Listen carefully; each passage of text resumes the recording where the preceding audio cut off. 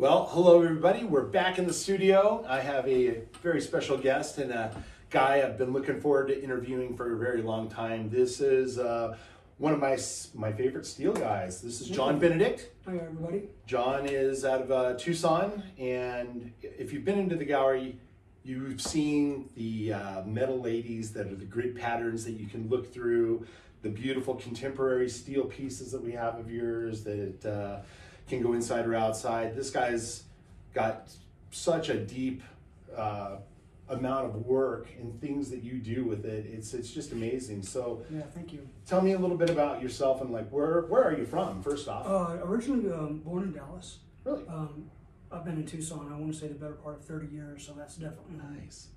Um, I don't know. And how did you get into doing steel stuff? Was that you know, I just was- knew I needed to. Um, Really? What was your I- trade before you did this? Actually, I'm what? gonna, I'm gonna back up. I was supposed to be an artist, like from a kid. It's like I was doodling and drawing and not doing my homework and getting in trouble for it in elementary school, and I just stuck with it. You sound you like know, me. just just stuck with it. right? That's awesome. right? And then um, I guess it's been probably close to 30 years ago. I just I knew I needed a weld. I bought a welder and started sticking stuff together and figured it out. Now I have a full blown fabrication shop with CNC plasma cutters and power hammers and Wow. So when you first started, were you doing artwork or were you just You know- doing things? Were you fabricating for people and doing you know like you know, house uh, stuff or anything like of a, that uh, with the the art in general, it started out as gifts, but with with steel, um, I don't know. I, I kind of made some stuff, and I had somebody come over from Craig's or Craigslist to look at some old books I had, and it wasn't even finished, and they bought it off my table. wow.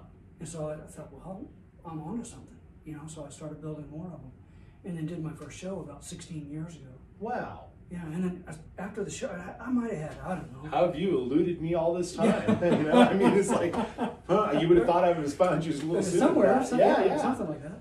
Huh? Uh, at the, my first show, um, I did, uh, I don't know, I might have had 10 pieces at it. Really? And where was this at? Uh, it was the part of the Gem and Mineral show in Tucson. In Tucson. Nice. yeah, and then when the show was done, I started counting how much time I had in it and all that, and I was like, snap, that was pretty cool. So the next year, I doubled my product and then counted numbers when I was done. And then I think by year four, I did 18 shows in one year. Wow. So just like the shotgun effect, just boom, trying to Blew out there. Yeah, I figured it out. And then over the next probably four or five years, I started figuring out, well, I don't do good at these kind of shows. So I, I started pushing away, and then I've gravitated to um, like um, fine art shows and, nice. and that sort of stuff. In fine galleries. Of yes, course. sir. Yes, sir. Yes. Yes, sir. Yeah, we've done very well with your work. We love it. Uh, people are fascinated by it. It's uh, contemporary. It's abstract. It's you know realism. There's so many elements to it. It's really neat. And to know that you've been doing it this long is even more amazing. Because, like I said, I can't believe I've never seen you out there doing that kind of thing. Right. So I know you've recently completed a huge Yes. undertaking, and is that the biggest piece you've ever done? No, Is- it's uh, second biggest, but this is definitely the most um, prominent. yeah. Like this is this one's badass. So tell everybody because obviously Oh, I'm okay. talking in So, code uh, over here. I'm- so I'm it's sure- a yeah, he's probably going to insert a picture into this video so you guys can actually see what it is. But it's a it's a meditating angel. His legs are crossed and his hands are in, in this position, and he's got some big wings that come up. And he's a, a 21 foot tall, going to a spiritual healing center in Nashville, Tennessee, and he's built out of 3 16ths plate and sheets of steel that it took was eight foot wide by 20 foot long wow. to, to get it so you can get one, you know, at least the biggest part out of one sheet. You know, The, the coolest thing is that we have little mini versions down inside the gallery, which Yes. we'll go downstairs here in a minute. and We'll look at a couple of your pieces. You can tell us a bit about you know how you go about even putting something like Sure, these things sure. together. Because uh, you must move more steel than uh, any steel workers building skyscrapers in here. I swear, I, I don't know. I cannot believe how much you put out. It's yeah, thank you. how many pieces do you think you create a year? Um, well, uh, 20, let's see, 2018 and 2019, each year I sold 1,100 pieces. Wow, And, you know, you think about it, that's three a day. that And I got to produce that many. wow. And, you know, now some of them are very simple. Some of them I can build a lot of them in a day, but some of them take three or four days to complete. When you go about building a repertoire of work, do you kind of conveyor belt know you you're going to produce ten of this one day and a couple of these, and Yeah, it's just a production line kind of thing. It makes sense. and Like, so is most everything done in a CAD kind of drawing too You when know you, when you conceptualize, or do you just go for raw steel and start building? it's it's gone to that. It's gone to uh, CAD drawings. Yeah, Um, I guess it's been a number of years ago. I was doing the design work and then having other companies cut my stuff out. hmm And then one time I waited six weeks for my parts, wow, and then so eventually I bought my own machine. yeah, And so it makes way more sense just to draw it on CAD and then cut it out because you do it yourself. yeah literally um, I only figured it's about ninety times faster. Did you go to school or learn anything about sculpture? I'm just You know, not you giving just gift. did your own thing, huh? Yeah. That's so cool. I think that's also what produces some of the best, uh, you know, unique styles and looks for a person because you're not trying to follow anybody's work. You're, Correct. Your your blank canvas is, you know, you're forging your own Correct, style. correct. You know, I've got an opinion that um, if um, if an artist stays true to his or her own ideas, you look unique. If you copy everyone, you look like everyone. Right. And so I've just I've just stayed true to my, my own ideas. And you know, besides that, it was um, I've got the gift of ideas. Like in ten or fifteen minutes, I can draw down ten or fifteen solid ideas. Just can't build them all. I just can't get to them. So Yeah. I just pick my battles. That's amazing. Well, I like the battles you pick.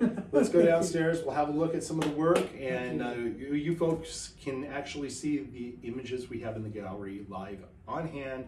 Of course, you can call us. Uh, He does great special orders. Yes. He does amazing customs. We can build you a 20 foot, uh, you know, cross-legged angel, and uh, or anything else for your matter, whatever you think. So stay tuned. We'll be right back. Great. Uh, thank two you. seconds. Thank you.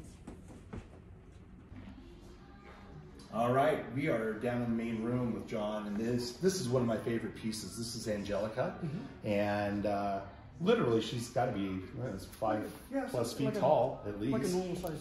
yeah. she's got bones of steel. Yes, yes. Yeah. The hair's flexible. Totally.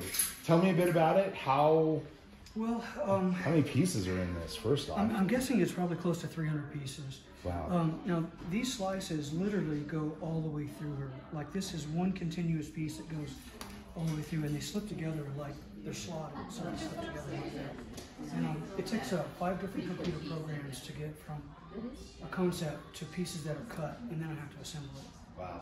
And what's the time on on You know what? something You'll be like blown this? away. I can build her in like two and a half days, three days. Wow, Right, that's cutting it. And that's it. amazing. Yeah, thank you. Yeah, a lot of work in these. How, how do they weather outside? I You know, really good. Um, uh, pretty much anything in the direct weather will eventually rust, but she'll do it beautifully. Right. Uh, it'll just get a patina on it. I've got a, I've got a sculpture that's been in the desert for like 18 years, and um, if you look at it, it's just got a really pretty patina on it. If you really look at it, it's not even pitting yet. Wow. The damn thing's gonna outlast me. Like by the time it has a problem, Oh, I'm not gonna believe care. it's be around Right. hundreds of years, I would Right. think. You, you do, uh, you can spray like a marine coating or something Yeah, though on it, right? this actually has an uh, exterior clear coat on it. An exterior clear coat? Yeah, and what I, what I like about it, I've used products that are two hundred dollars a gallon that don't do as well as this. Like those other products, when they go bad and flake off, and look like a bad sunburn. Right. Whereas this just gently fades. You know, I could give you the name of the product that you could keep it sprayed on there, but Nice. I'm, I'm about the zero maintenance. Yeah. Just let it go. Just let it go, It'll- let, it'll be it, let nature have its Yeah. way. Uh, they do look beautiful when they're patina too, and getting a little of that natural rust in them looks amazing, in, in my opinion. Yeah, thank you. Um, this is one of many sculptures we have in the gallery. We've got abstracts of John's. We'll go over and peek at another piece real quick here, the Nautilus, which is uh, a beautiful piece. Got some prehistoric elements to it. So uh, you know what? wanna- Um, the uh, the big angel that you're going to put a picture on Uh-huh. is built this style. Yes. So the slices go both horizontally and vertically. I want to elevate this piece too because the cool thing about it is when you crouch down, you can see all the way through it. and she almost disappears. Yes. It's really, Yeah, it's got a that's very cool unique effect, look. yeah. It's it's awesome. Yeah.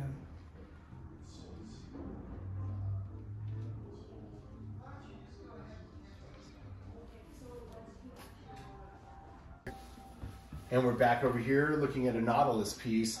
I love this one. The the beauty of uh, the contemporary feel of this with the actual Nautilus, and of course this is like what 130 million Something like that. fossil. Yes, it's It's fossil. pretty amazing. Uh, another beautiful piece by John that can go inside or outside.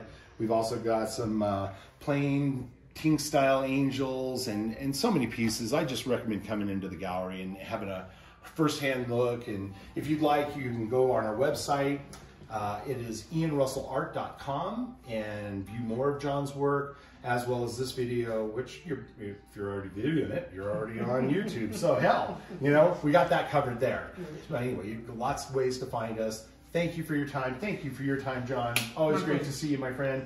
And uh, we look forward to uh, representing you many years and having many gorgeous things come in the door. Fantastic. All right, my friend. Thank you. Thank you, guys.